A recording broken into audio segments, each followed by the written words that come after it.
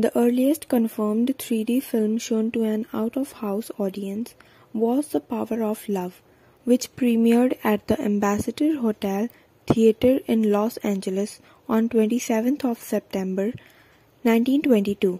The camera rig was a product of the film's producer Harry K. Fairall and cinematographer Robert F. Elder. It was a five-reel melodrama film.